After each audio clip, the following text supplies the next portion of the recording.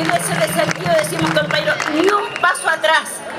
Esta, esta, esta actividad de hoy día, este encuentro continental, donde está lo mejor de América Latina reunido, es una antesala a la jornada que nos espera el próximo mes.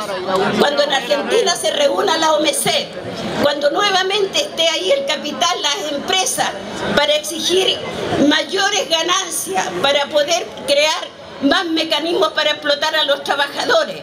Y nosotros no podemos parar porque tenemos que parar a la OMC, no solamente la OMC fuera de la agricultura, fuera de nuestro pueblo, fuera de nuestra economía, fuera del mundo, no tiene por qué existir OMC.